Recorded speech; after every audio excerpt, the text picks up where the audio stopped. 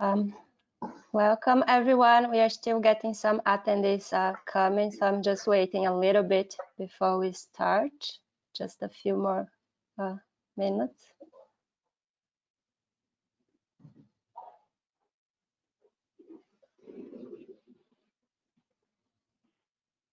Um, okay, it seems like perhaps I can start now. Okay, so um, Welcome to this webinar. My name is Catiúcia Casemiro. I am an editor for the Physical Review Journals. Uh, we are here today to have an interview with Ignacio Cirac on his uh, hallmark paper, Three qubits can be entangled in two inequivalent ways. Uh, before we start the meeting, I just want to make, make uh, one quick announcement. Um, sorry, okay. Uh, we just launched uh, one uh, new journal from the Physical Review family. So PRX Quantum is a topical journal for the quantum information science and technology communities. It's a highly selective open access journal, and we are looking for research with, with an emphasis on lasting and profound impact. Um, I don't want to take too much of your time with that. So just wanna uh, let you know that you can check details of the journal in our website. Also, take a look in our list of board members. We are very excited to have um, several experts in the field uh, supporting the journal. And also be sure to benefit from the waived APCs through the end of 2021. So please check the website of the journal. Um, okay, concerning this meeting, uh, we are here today for the celebration of the 50th anniversary of Physical Review A. Uh, as you know, so 50 years ago, the Physical Review uh, was split in peer uh, A through B, C, and D. And this gives rise to this uh, premier collection of physics journal uh, in celebration to this anniversary, we are doing a few things this year. We have in our website a collection of milestones papers. Uh, every month we highlight, we pick from the past one of those papers and highlight in our website, so you can take a look on that. The Physics magazine, they wrote a very nice article in which they also took uh, three of our milestone papers and they did an interview with uh, their authors and also uh, an interview with early career scientists asking their uh, view of those milestone papers and how they, it had an impact on their own research and so on. So it's a very nice uh, article to read.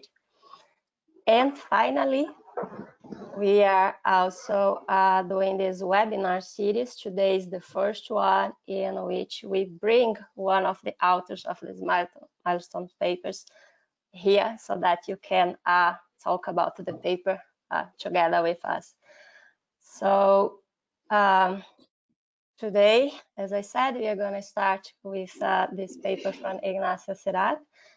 Uh, so that you know the, the format of this meeting, we will start with uh, uh, with a moderator having a conversation with Ignacio for about 20 or so minutes.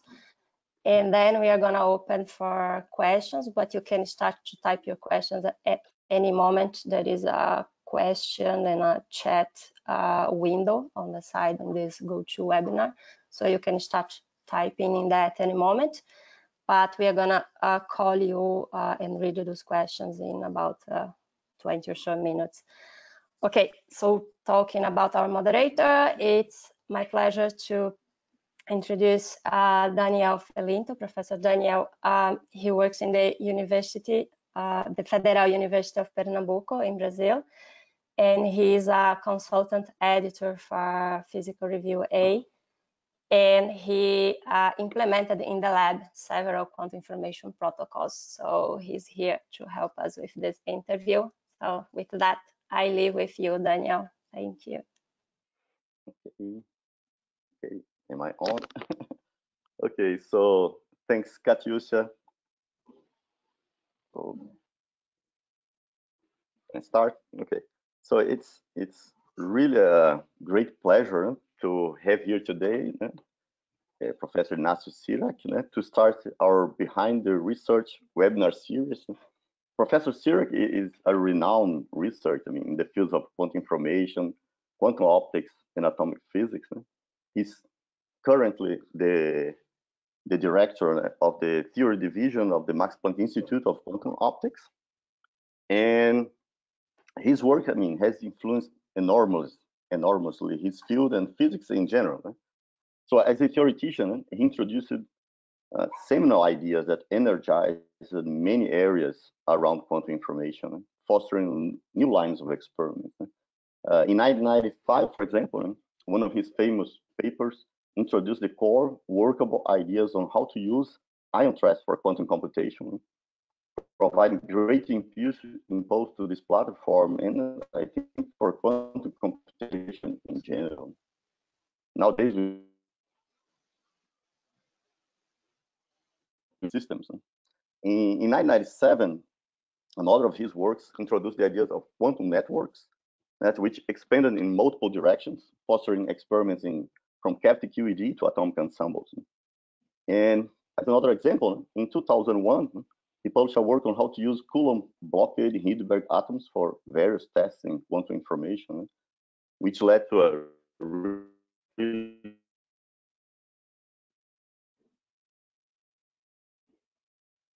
uh, I seem to be losing Daniel. Oh, Am I? uh, should I continue or come back? Catiúcia? Yeah, I, I can hear. I'm not sure if it's my problem or if it's with you. I don't know. I'm I I'm sorry.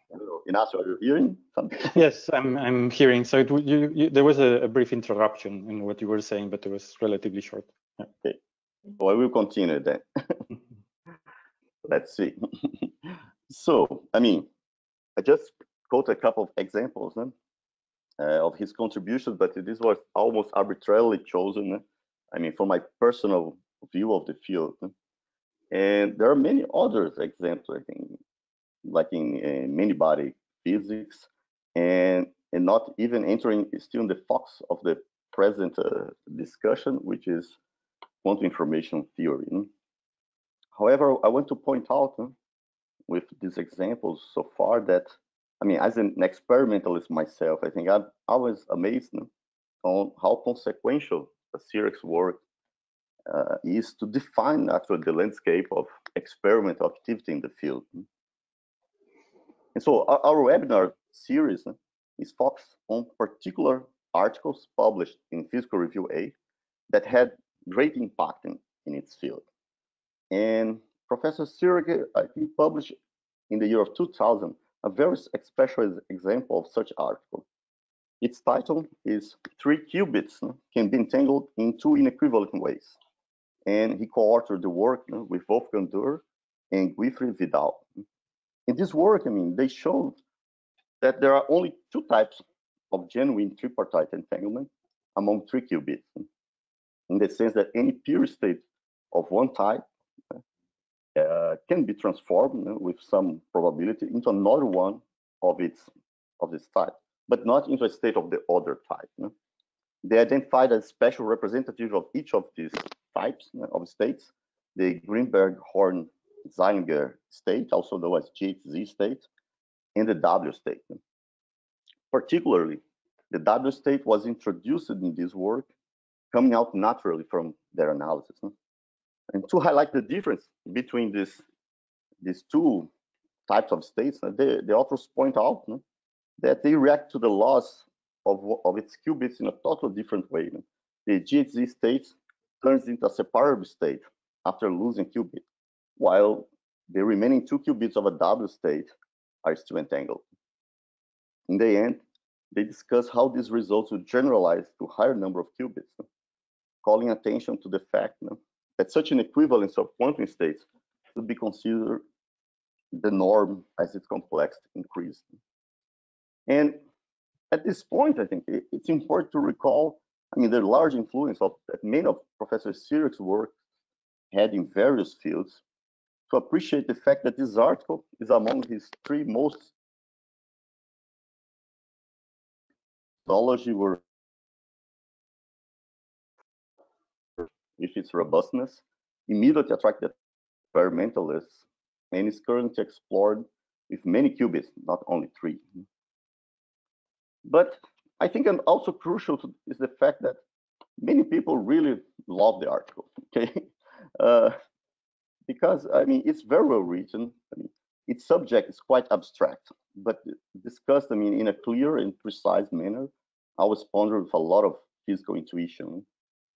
And now, I mean, we want to know more about it, and that's that's why uh, we are here. So we can start uh, the interview. And I, I think I, I, want to start by really the beginning. We are going to talk about quantum entanglement from now on. And the first sentence of the article is the understanding of entanglement is at the very heart of quantum information theory. Thus, to start, can you summarize for us what's your present understanding of quantum entanglement? Did it evolve in these last 20 years? okay, well, first, first let me start thanking uh, PRA and thanking Katyusha and Daniel for this very kind introduction and invitation. It's a great pleasure to be here. And let me also congratulate PRA for its 50th uh, birthday. It's a great, uh, wonderful journal. And I think that all the physicists working on quantum information have had uh, physical review as the main or one of the main journals. So it's very important for us, also in atomic physics. Thank you, Daniel, for your very kind and uh, introduction, and also for introducing the subject of the paper. Indeed, it's about entanglement, and entanglement is a property of quantum physics which makes it different from any other theory. So we have uh, classical physics in which you can have um, several objects, and these objects may have some correlation. So whenever you measure one property of an object and you measure another property in an object, maybe they are correlations because they have the same origin. But in quantum physics, this the I mean the mathematical structure that is behind the theory of quantum physics makes that these correlations can be of a special kind. So according to quantum physics, I mean the properties of objects don't have to be uh, defined because there can be superpositions, and therefore whenever whenever I make a measurement, the result is not deterministic. And if you put together the superposition principle with the fact that you can have two or more objects, then naturally appears entanglement, which is the property in which you can have superpositions with several particles in such a way whenever you measure one then actually the state of another one is determined and this gives rise to certain correlations which cannot be represented classically with what we call hidden variable theories and this is what we believe that fuels quantum physics in order to process information to transmit information in a very different way and it has applications like quantum computing, quantum cryptography, and so on. But if you go back, it seems that everything is related to this property of, of quantum physics, which does not exist in our classical world, which is entanglement. Okay, so thanks. Uh, but so now, what's your personal recollection on how the paper came about?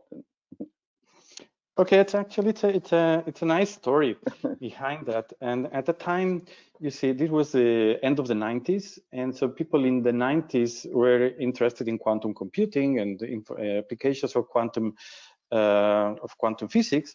And uh, the goal was, and from the theory side, to find new applications, but also to develop a theory on which these applications in the futures will be based on. So one can look at computers that we have on our desk now or the communication devices that we have. There is a mathematical theory which was developed 50 years ago, the theory of information. And what people wanted to do in theory is to develop the theory of quantum information or quantum information theory. And so for that, it was very well clear that entanglement should be what is very different from the classical theory of information. And therefore, people tried to uh, characterize it quantify it and so to try to, to, to see what how it appeared in different systems. And there had been several papers on what happens if you have two systems and what kind of entanglement you can have there, and many papers about that. And whereas for three systems, there were some papers, and uh, but but there were all these states like GHZ state, there were product state, there exists certain kind of states, but it, the, the, the mathematical problem was very complex. And uh, so actually I can, I can trace back the, the original, uh, at least from my point of view, idea of this paper when I was in a conference in, in Seville, it was uh, around 98 or 99. And then it was Anton Zeilinger there, the Z of the GHZ.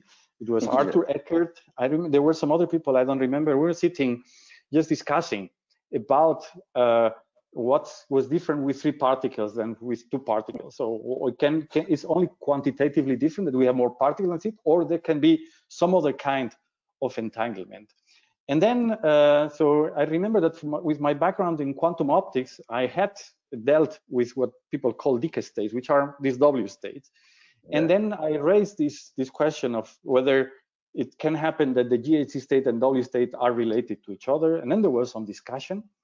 And then I flew back to, to Innsbruck. I was uh, living in Innsbruck, and in the plane, I wrote some equations to see whether they were the same or not. I talked to a master student, and we found that they were not the same, but we parked the problem.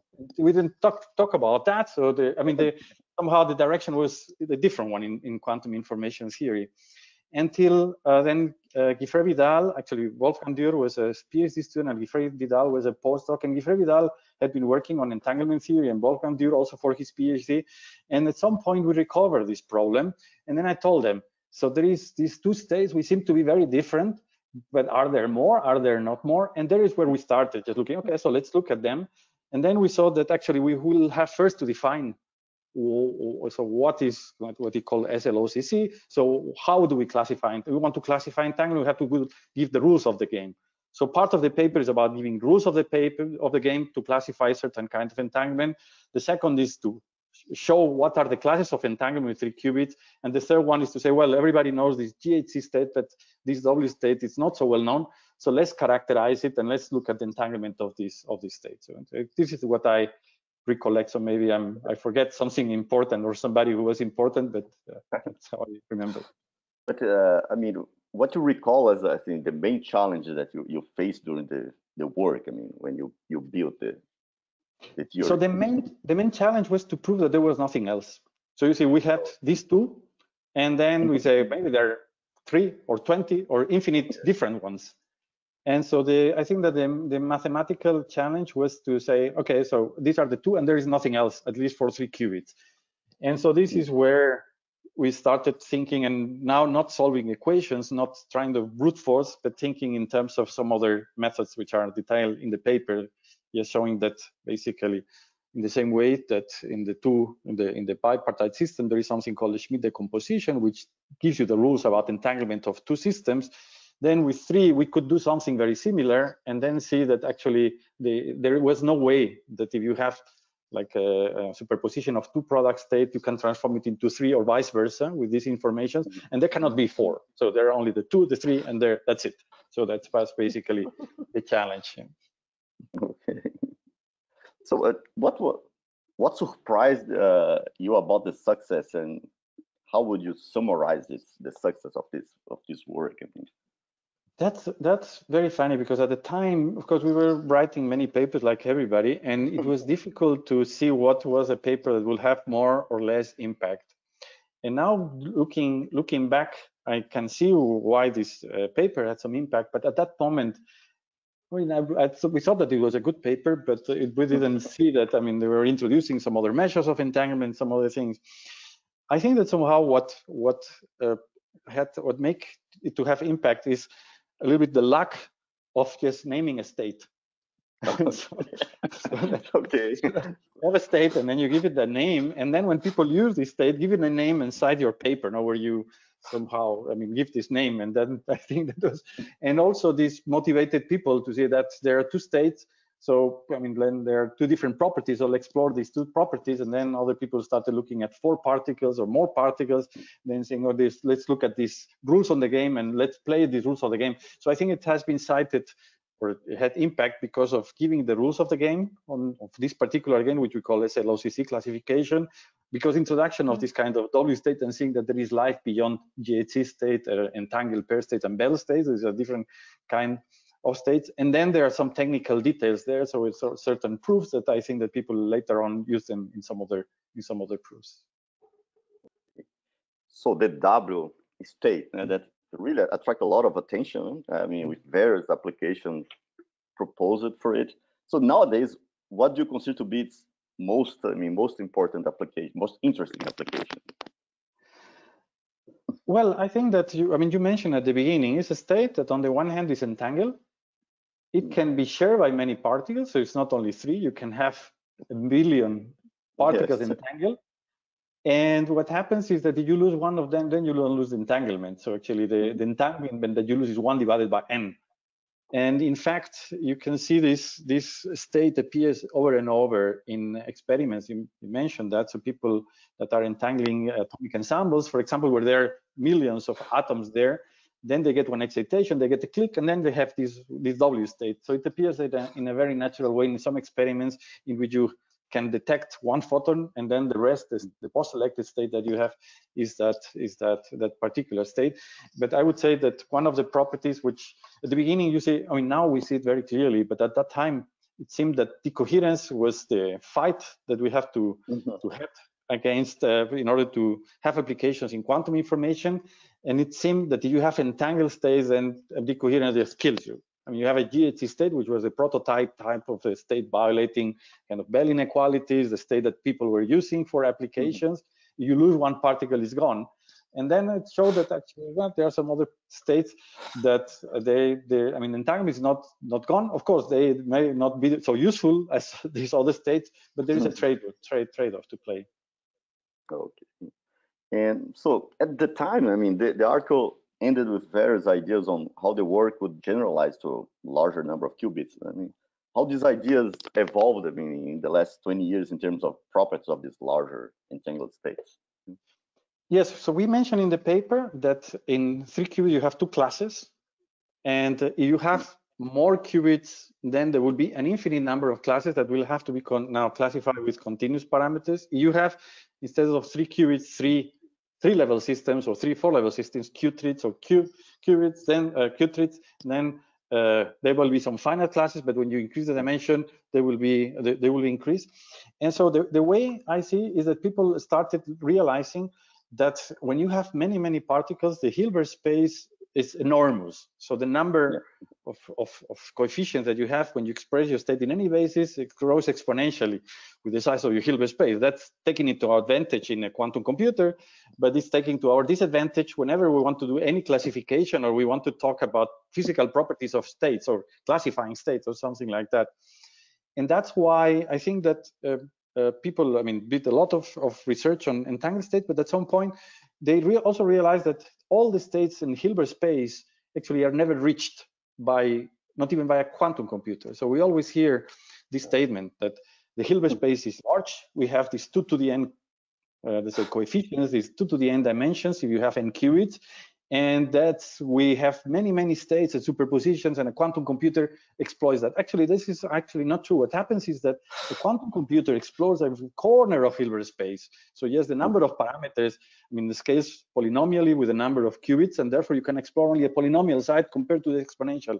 But what has been realized during the last years, I would say that exactly, you have this huge Hilbert space, but only the corner matters for everything, for quantum computation, for everything. And this is why people say, well, actually, I mean, the fact that we have that many parameters and it's very complex, maybe it's not so interesting. Let's not try to classify now entanglement in general. Let's not classify everything.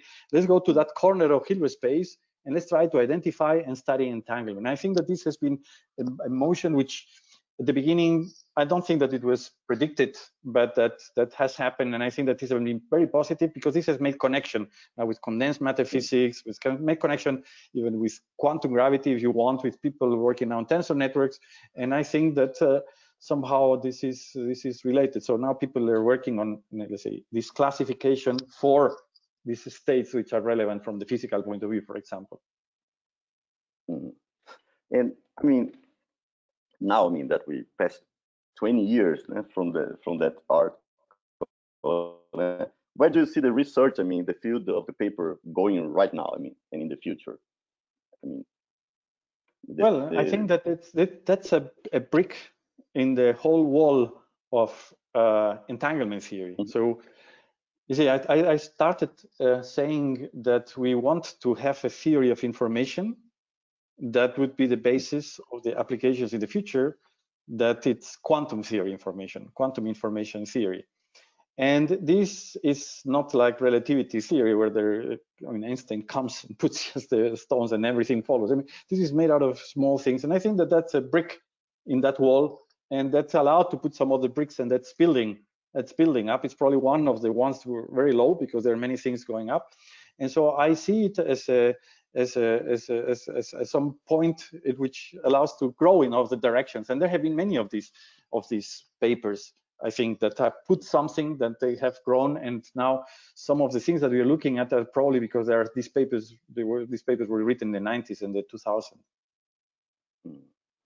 And for the particular for this three qubit states, do you think there are particular applications for this kind of multipartite states?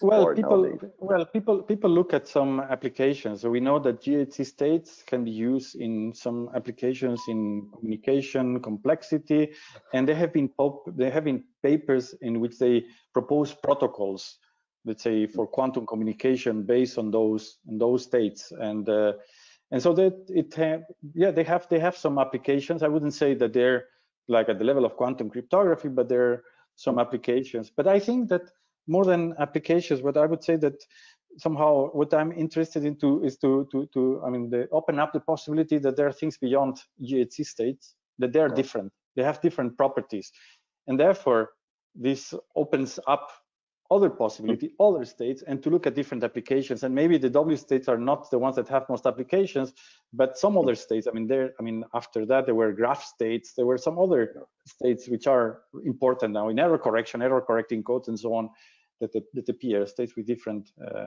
with different applications. So I would say that the W is among one of those one of those states which show that it's different and uh, it's different, so you can expect different things than from the GHZ state.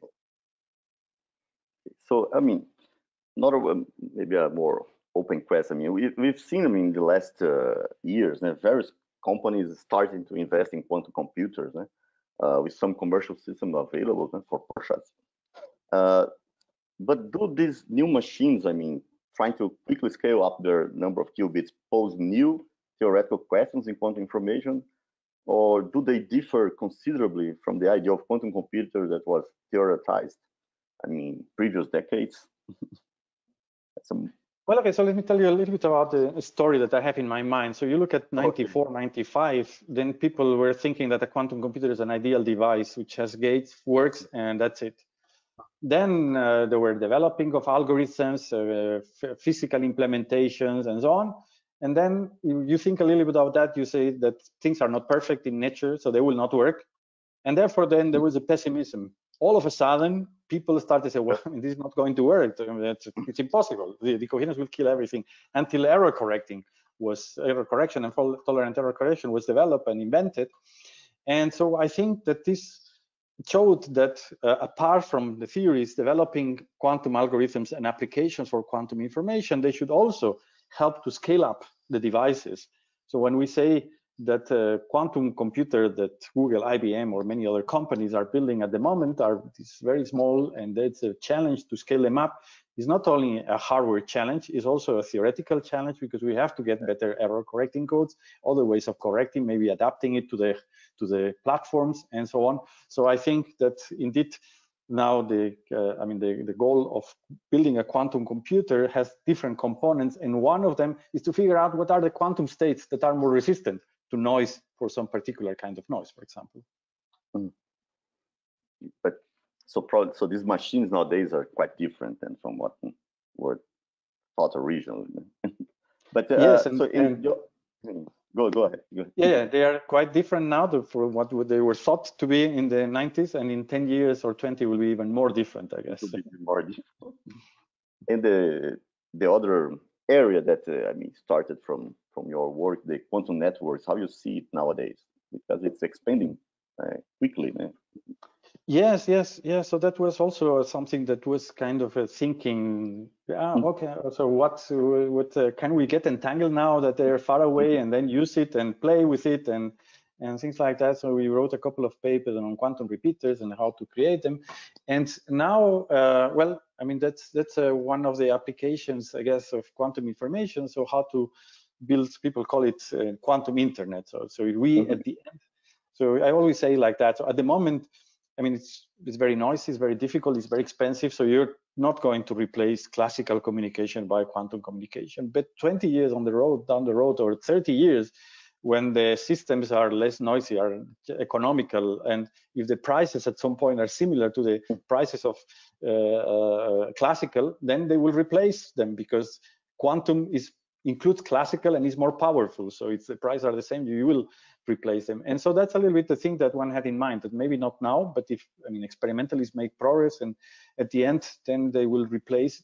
And so that's uh, that's why it would be interesting to have uh, the, some of the basic pieces. And then what was very important, and it's behind all my work, is that when you have one of these ideas, then there are some experimentalists around, and then they sit down and they do it, and actually they do it better than what you thought. And then there are some other people thinking about that and come up with many ideas, and at the end the the, the project flourishes. So again, that's uh, I mean it shows that nowadays uh, research is a very collaborative, a collaborative uh, enterprise, even though we don't realize, but that's really uh, I mean ping pong think something, somebody else thinks something, and then things add coherently. So thank you, Cyril. I mean, Catiúcia, do we have some questions already? Yeah, yeah, we have, we have. We Maybe have we two people. yes, so people like the idea of the corner of the the Hilbert space. So we had two questions on that. So the first one is uh, if you can comment on what is the corner that we access with a quantum computer, which I think might connect to the platform, but I will leave to you. And the question goes on also to say uh, if uh, if uh, is the ground state of a Hamiltonian which follows the area law. So I think it, yeah, how, how you connected this corner with a simulation of uh, the ground states of Hamiltonian. Okay, so this is a this is a very active uh, area of research. So we know that there is a corner. So and I mean you can mathematically formulate and realize that the most of the Hilbert space, the zero measure part of Hilbert space is used. So the quantum computer or nature uses a very small, tiny set of states, let's say a manifold of states, very little, very little. And now, uh, so there are two two puzzles there. So one puzzle is Okay, so if there is a little corner of Hilbert space, maybe we can uh, describe it efficiently. We don't need uh, exponential number of parameters. We can have with few parameters, and therefore we can understand physics well with that. So we don't, uh, I mean, some of the problems when we study high energy physics or condensed matter physics that we have many particles, and then we write wave functions, this, this size of the Hilbert space explodes. However, we were able to characterize this corner of Hilbert space, and maybe we can understand problems in, in, in physics. So that's a that's a challenge. And so this tells us, okay, let's try to find what is that corner of Hilbert space. But this somehow uh, crashes against quantum computing because quantum computing is using this corner of Hilbert space and is doing things that we don't know how to do, and we expect that we will not be able to to, to know how to do. And that's a little bit the, the, the distinction that is somehow happening that somehow we can say that let's go to the next step and let's see. So we would like to know what is this corner of Hilbert space for the states that we want to describe in nature. For example, you have thermal equilibrium of a system, you have uh, electrons moving in a solid, and you would like to know at certain temperature or at zero temperature what are the physical properties.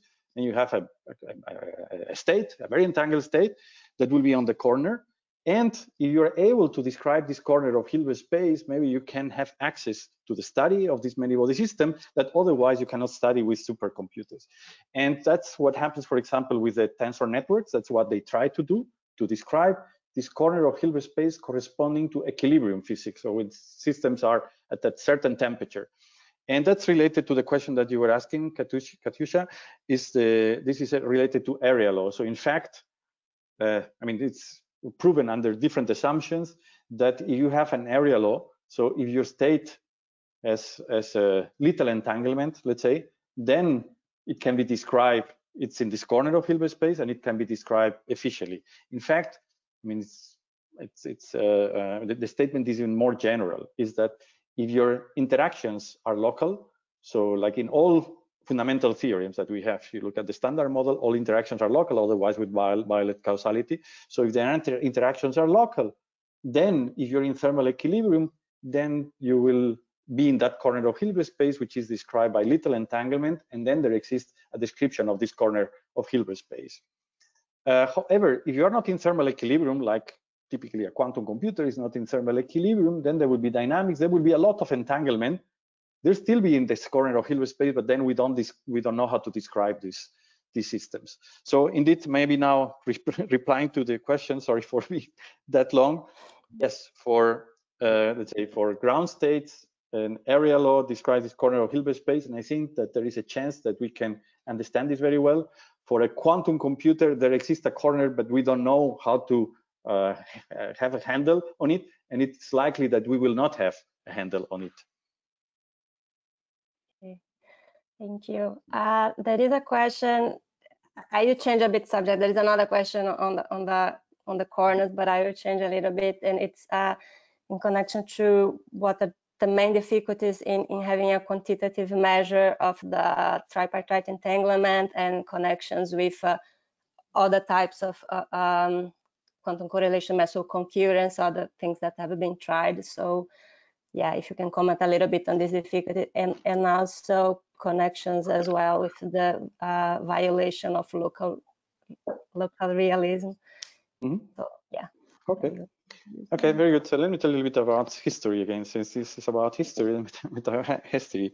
So uh, there was in the in the 90s there was uh, there was a very nice paper by several authors in which they basically show that if you have two particles, there is one kind of entanglement, right? Only one kind of state, and then there is a measure of entanglement which describes these bipartite states. This is what we call today the entanglement entropy, and uh, and so you have a bipartite state, then there is basically one way of measuring entanglement. However, you have you go to more than one particle, like three particles, four particles, it soon it appeared clear that there were different kinds of entanglement.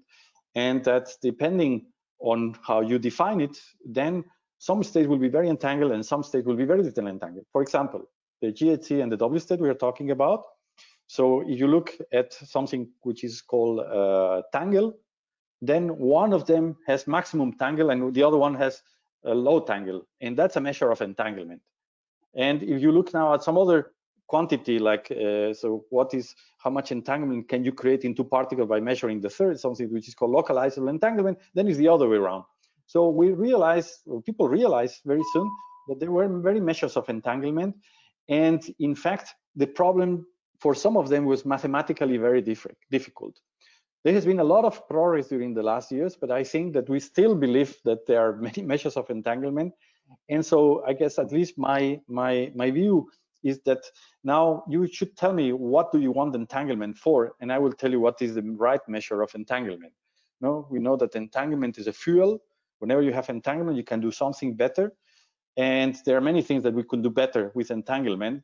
So depending on the one that you want to do, then there is a different measure of entanglement. And that's again i mean i guess that is a very practical point of view you know that uh, let's define the entanglement depending on what you want to you do do with that. And even that it's difficult. So at the end it I mean, turns out to be a difficult problem. And so there are many people working on that. And uh, there are still many open problems even in that in the entanglement theory and now the relation with local realism is that okay so it was proven by Nicolas Gisin already in 1991 or 1992 that whenever you have an entangled state, then there are some measurements that you can perform that would violate some kind of inequalities or translating it to some other language is that the correlations given by any pure state that is entangled cannot be described by a local hidden variable model.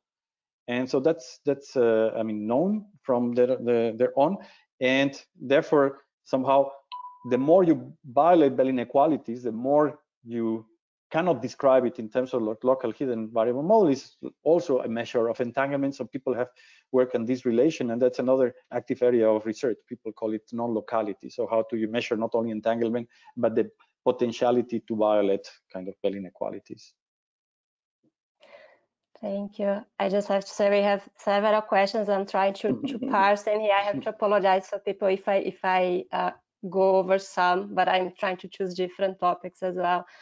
Uh, so we have one question. I think it's quite interesting because you have worked uh, with qubits, of course, but as well with continuous variables. And the question goes on on how much the ideas uh, uh, in developing things for continuous variable, how much those ideas influence the work in qubits and vice versa. Actually, it's a very it's a very interesting question and very nice question. And in fact, there, you see, in continuous, so you can take let's take qubits, like take qutrits, four, four level system, five level systems, and then you go to infinite, and then you go to continuous variables. That's one way of thinking about that, and that's because uh, it shows that continuous variables are very difficult and However, within continuous variables, there are certain kind of states which are uh, very natural. They appear very natural in quantum optics in, in, experiments. These are called Gaussian states. And so these are states that somehow have uh, uh, are the ones that can be created in the lab in a relatively simple way, like squeeze states, coherent states, and things like that. So what people did from the beginning is to say, well, let's not consider just this infinite uh, dimensional Hilbert spaces with with many variables because there are many possible states.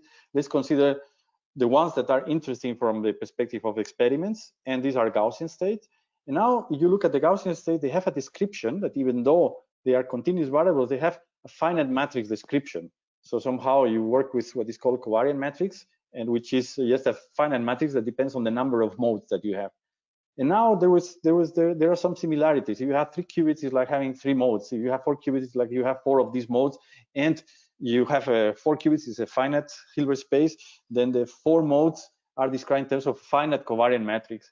And then people started just looking at what has been done with qubits and trying to see how to translate it to to uh, continuous variables with covariant matrices. And actually, we work on that, and we were motivated by both cases. So, for example, I can tell you that I mean, we solve one problem of entanglement uh, characterization for continuous variables for these uh, states, and then we translated them to qubits and then solve some problem in qubits yes by doing the translation of how we solve it so they have been connections not only by us but by many people even though i mean these are different now if, i mean for the mathematically oriented uh, audience in one case I mean, the, the, the, the, mathematical structure about n qubits is a tensor product of Hilbert spaces, and in the other case, a direct sum. And uh, so that makes them very different, but still there are some similarities that could be exploited. Thank you. Okay, we have another question going back to non-local. Oh. You have one, Daniel? Yeah, go on. No, I would just make one too. We yeah, can... yeah. I can just I just like to to really give another one from I think from Oliver Pfister.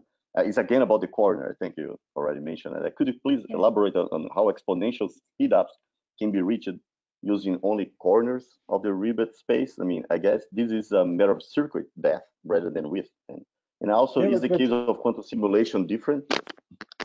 No, no. It's a, it's a very simple counting argument. You see, you have n qubits then you have two qubit gates and single qubit gates. They are universal. And then you want to do a polynomial depth circuit. Otherwise, it will take an exponential time and you will not be able to do it in your lifetime, let's say. So you're limited to n qubits and let's say n square, n to the cube gates. Now the number of parameters that you have will be n to the four. It's polynomial. Whereas the number of parameters that there are in the Hilbert space is two to the n. So you see that even the quantum computer, which has a polynomial depth, I mean, only explores, let's say, as this polynomial number of parameters. It's a very simple counting argument. What is nice, it's very interesting, is that already with this corner of Hilbert space, just exploring this, uh, this polynomial number of parameters still can do things that we cannot compute. And uh, that's what I was mentioning before, that that's enough. You don't need this exponential Hilbert space, but just with this polynomial number of parameters within a Hilbert space that is big is enough to do something that we cannot do with classical computers. Okay. Uh, yeah, I we have a, one perhaps now going back to non-locality. So it's the following. The term correlations is ubiquitous when we describe entanglement and Bell non-locality. What would you say about the new phenomenon of no input non-locality in this regard? There are no measurements choices, so where is the correlation? Do you think this is a new form of non-locality? No input non-locality. No, what was? No, no input, non-locality. Well, I'm I'm sorry, I cannot answer this question because I don't know what that is. I'm sorry, very sorry. Okay, okay, okay. Uh, that is one very direct question, I think, for for people um, using the field. So, is there a general agreement on entanglement measure for pure states? And no, no, and that's uh, that's uh, what uh, what I mentioned before. That for bipartite systems, I would say that yes. So you have two, let's say, qubits or qutrits. Then I think that we communicate with each other very clearly. There is the entropy of entanglement. But if you have many many systems, then there are many ways of measuring entanglement. And I can tell you one. And you see, you can just take. Imagine that you have four particles. Then what you can do is to say, okay, let me cut put two on the left and two on the right. Now I have a bipartite system. The first part is composed of two qubits and the second part is two qubits. And now I can apply the entanglement measure of two qubits and this will give me a number. But there is another possibility in which you just separate them the other way around. And then you will have a different partition. And then you will have a different entanglement measure because maybe the particles were entangled along some directions, but not along on uh, the other direction. And now you can make many partitions. And then you can I mean, just with different partitions, different kind of entanglement. And this is just one, this just illustrates why there are different possibilities of measuring entanglement. And then the people will give you different numbers when they refer to entanglement. And so there is not an agreement, but I think that there is an agreement that there are many entanglement measures. Uh, I make one have, question. Yeah, yeah, yeah, go. Uh, so, uh, Cyril, actually, there is a question here on classical correlation in quantum entanglement and how is it inside quantum entanglement? And then I would just want to change a little bit the question. How, how do you see nowadays this discussion about the border of classical and quantum correlations? Do you think this is still a, a, a I mean, a, a present day problem? I mean, nowadays we well, discuss so much quantum entanglement.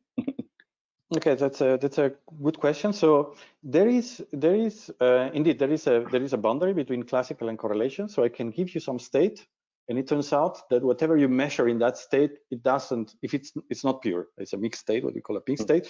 Then it will it will have correlations that can be described classically. Yeah. And now I can make it a little bit more pure or more entangled. And at some point I will cross this border, and there is this border, and this border can be characterized and can be characterized mathematically. So there is a there is a I would say there is a way that if you give me a state, in principle, I can tell you whether it's on the side of the quantum correlations or on the side of classical correlation. However, that's an uh, NP-hard problem. So it's very difficult. So you have two particles okay. You have many, then you will not be able to do it in practice. And so there have been now many works actually trying to uh, have different definitions. So imagine that you don't want to know on what side you are, but you would like to know how far are you from the border, and then you're given some conditions, and then this has given given rise to a lot of a lot of papers and a lot of results on entanglement theory about that. But yeah, so I would say that there is an in principle way of defining classical and quantum correlations, but in practice, to find if a particular example is one way or the other may be difficult. Okay, uh, we have one question on how to produce entanglement in a way, but more it's a theoretical question. So it's actually uh, about entangling gates and how you can have a maximally entangling gate if a swap gate is is is a maximally entangling gate. Yeah. Oh, that's that's interesting. So there there was a there was a I mean in the early 2000 there were several papers about entangling powers of gates. Actually, we wrote some papers and some of the people wrote some papers. And then, so one of the results I think that came out, at least for two qubit gates, is that a two qubit gate has a universal decomposition. You give me a two qubit gate and I can write it in some standard form. And just by looking at the standard form, I can tell you what is the entangling power. And so it turns out that the uh, CNOT gate, for example, which is a gate, and the control C gate, and maybe some other gate have exactly the same entanglement power. The SWAP gate, which is a different gate, will have a different entanglement power because if you just have the two particles, it cannot entangle at all. However, you use ancillas, if you use locally entangled particles, then it will create two EBITs of information. So that's uh, uh, something that that okay so was very uh, very well characterized i think in the in the year 2000 even people study what is the entanglement um, power of a hamiltonian. Now imagine now that i don't have a gate but i have a hamiltonian interacting two or three particles or four particles. So how fast can it entangle? So how much can it entangle? It's something that was addressed some years ago. And the results from there have been now extended. And actually they are used, for example, in the context of tensor networks to prove area laws. I mean, the question that was mentioned before, actually, I mean, has been proved using techniques related to entanglement power of, of quantum gates and Hamiltonians. Um, okay, we have another question that goes back to your career. Uh, it says mm -hmm. that you started in atomic physics and and then you moved to quantum information theory. So it's a little bit of a, is this a good starting point to start with atomic physics? But perhaps putting the questions different, what would you recommend as well for someone starting the career in this field right now? Well, there are many many many paths so i mean I, am very happy that i started in atomic physics and this helped me a lot and this helped me also to understand quantum information. So that was uh, but there are people who study condensed matter physics. And have a, a, similar path or there are people who are studying high energy physics and have similar path or there are people who are studying quantum information and they have a similar path. What i think that is very important at least what i realize and uh, with, with with years and i see also with my collaborators or students on is that somehow what has changed uh, a lot from what we had in the 90s. In the 90s, quantum information was like a theory to describe quantum computers. Let's say this, tell me what is quantum information. I, I want to have a theory to describe quantum, so how to process and transmit information. Now it's very different. Now quantum theory, quantum information theory is the theory behind quantum mechanics. It's a theory that describes condensed matter physics, can describe black holes, can describe quantum black holes, can describe high energy physics, can describe chemistry, quantum chemistry.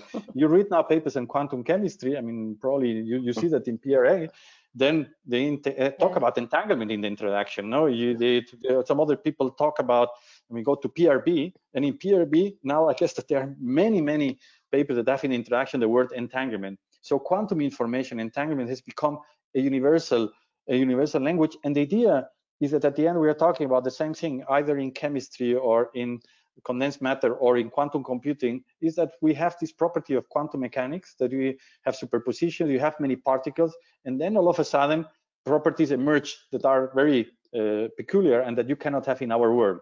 And therefore, this gives rise to properties in condensed matter physics, which are a typical topological order, whatever, in high energy physics, they have rise to anomalies or things like that.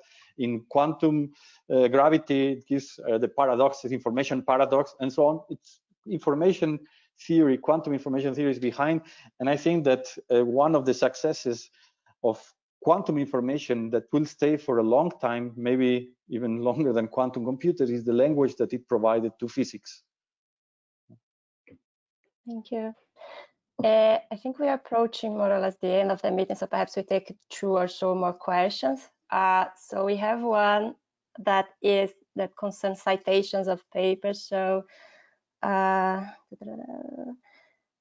how you feel, if, if you feel that the citations on your papers agree with your feeling of how important they are, or for example, is there some other paper that you feel is actually more groundbreaking than your most cited one? Well, this this happens. This happens, and I think that it happens to everybody, and that you think that something is important, and then there uh, other people don't consider it to be important, or maybe you think that something is less important, and then I mean this happens often.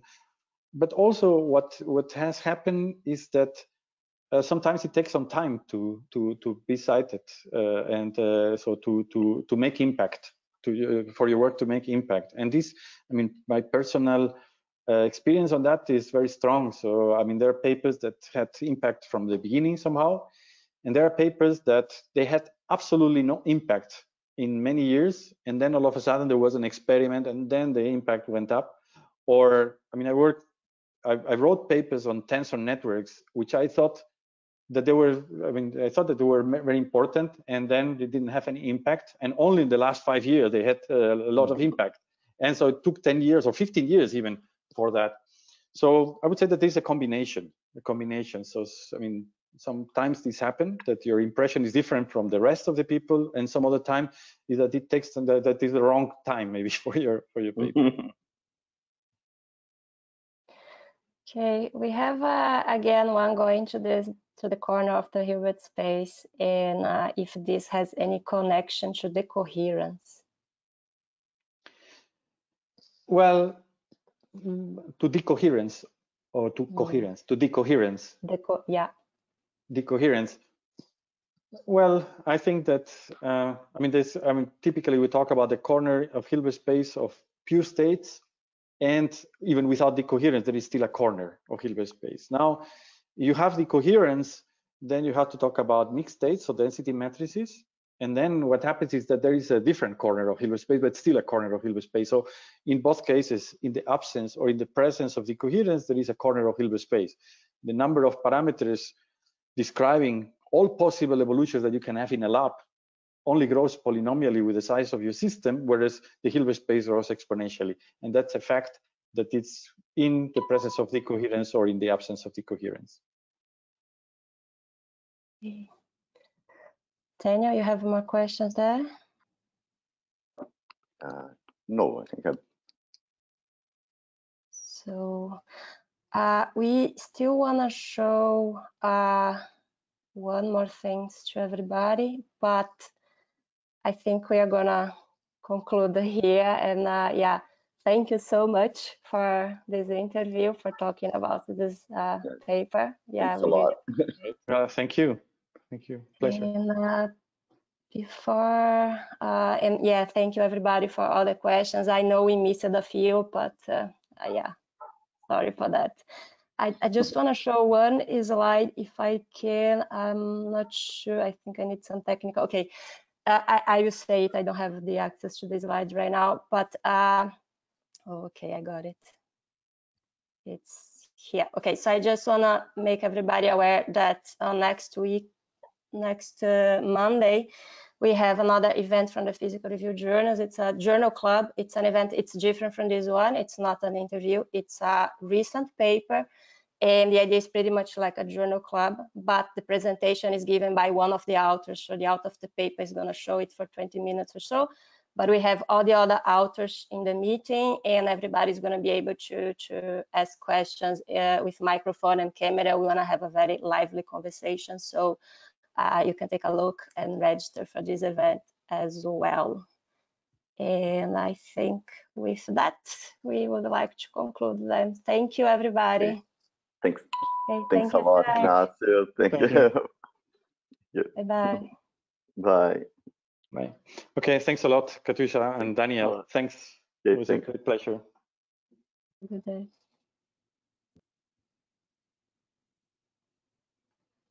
Um,